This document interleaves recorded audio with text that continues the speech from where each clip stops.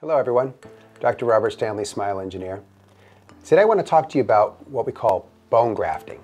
So if you are in a situation where you might be losing a tooth, your clinician, your doctor may have talked to you about a bone graft.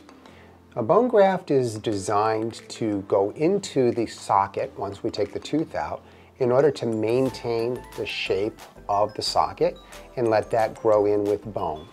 Now, we want to do this predominantly for two reasons. One, if we keep the contours of the bone nice and thick and big, it gives us the option to later on come in and be able to place a dental implant.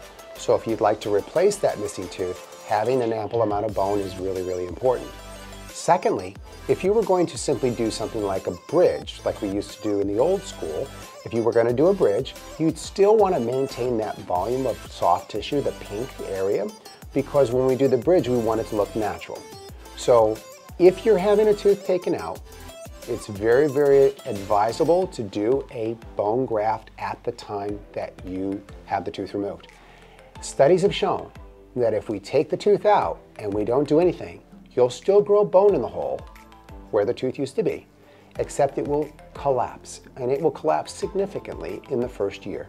So we don't want that collapse. We want to keep it nice and thick. So bone graft is indicated when you're having an extraction for maintaining the bone and having a good cosmetic outcome.